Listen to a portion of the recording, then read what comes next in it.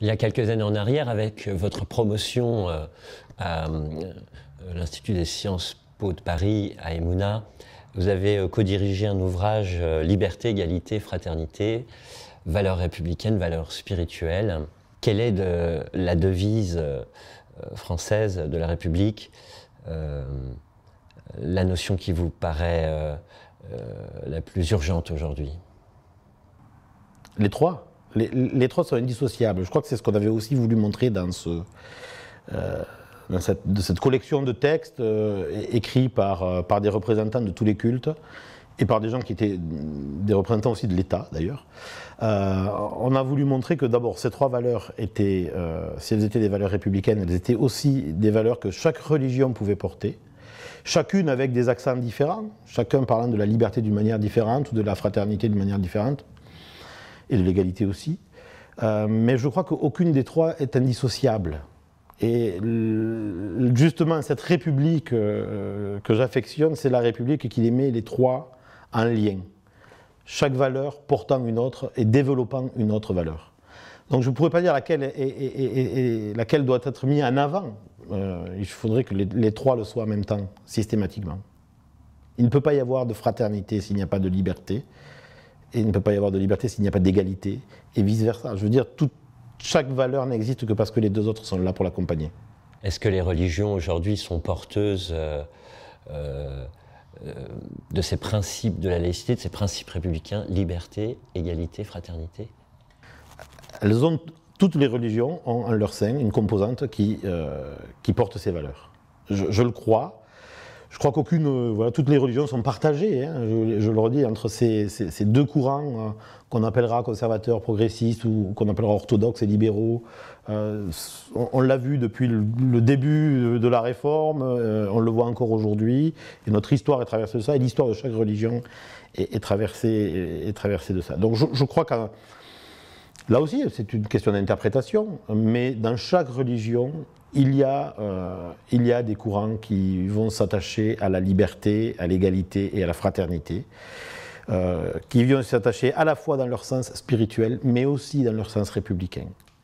Euh, et, et ce n'est pas, une négation de la laïcité quand je dis que les religions s'y intéressent aussi dans un esprit républicain. C'est qu'il y a aussi des, il y a des courants religieux qui se reconnaissent encore une fois dans cette république-là, qui la voit comme aussi étant porteuse ou, ou euh, co-artisane finalement d'une construction que nous appellerons peut-être le royaume de Dieu, que d'autres appelleront euh, un idéal de société. Voilà. mais chaque religion en, elle le porte. Le, livre dont vous faisiez référence en est la preuve. Chaque religion a pu dire comment elle ressentait, comment elle vivait, comment elle, expérimentait ces trois valeurs. Cet ouvrage euh, sur la devise de la République et le parallèle possible entre euh, les valeurs républicaines et les valeurs spirituelles, vous l'avez conçu et préparé et exprimé euh, avec des représentants de toutes les religions? Oui, pratiquement toutes les religions étaient, étaient représentées, certaines peut-être un peu plus que d'autres, mais c'était surtout euh, parce que le, hasard, le hasard de la construction du livre, mais toutes les religions étaient représentées. Euh, puisque dans les quatre co-directeurs, je veux dire, de, cet ouvrage, il y avait une haut fonctionnaire, une haut fonctionnaire du Sénat, il y avait ensuite une étudiante rabbin, il y avait un imam et moi-même qui était pasteur. Donc euh, toutes les religions étaient représentées, sachant que bien sûr j'étais pour tout, le christianisme, représentant tout le christianisme, mais dans le livre il y a aussi des prêtres qui ont écrit et il y a aussi des, euh, bouddhistes euh, qui, ont, qui, ont, pu écrire. toutes les religions, on a, on a, souhaité ça, que toutes les religions, mais aussi mais aussi l'État. Je crois que c'était l'ancienne ministre des Sports qui, avait, qui avait rédigé aussi un petit texte, une contribution dans ce livre ça nous paraissait essentiel de ne pas cantonner euh, la devise républicaine et son interprétation, euh, son interprétation par les religieux, uniquement par des religieux. Il fallait qu'elle soit interprétée par l'ensemble de la société et qu'on témoigne de la réception à la fois chez les non-religieux comme chez les religieux. Partant de l'idée que dans une paroisse ou un corps pastoral protestant, il y a des conservateurs, il y a des progressistes, qu'est-ce que vous souhaitez finalement à tous qui sont attachés à ce cadre de la laïcité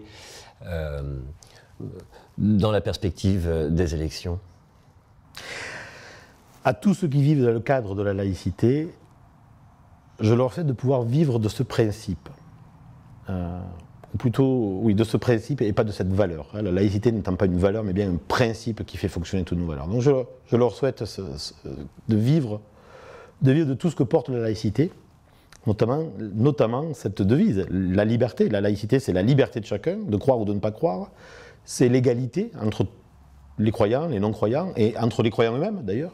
Et c'est cette fraternité. C'est ce que on essaye de construire. Donc c'est vrai qu'il y a des enjeux à cette, à cette euh, élection, on le voit, une extrême droite qui n'a jamais été aussi puissante, aussi, près de remporter euh, les élections, ou en tout cas euh, de pouvoir peser ensuite. Et c'est peut-être là où effectivement la fraternité va être importante à, rappeler. cette fraternité de tout un peuple, et bien au-delà encore. Je leur souhaite aux électeurs, à, tous, de, pouvoir euh, discerner, j'ai envie de dire, euh, de pouvoir euh, réfléchir et, pouvoir, sans les peurs, sans les craintes qui peuvent les habiter, en se dégageant de tout ça, retrouver ce que j'aime, ce que j'aime prêcher régulièrement, c'est l'idéal du beau, du bon, du vrai et du juste ce que Ferdinand Buisson, en reprenant euh, les paroles d'un de ses amis prêtres, je crois, disait ça pourrait être le nom de Dieu.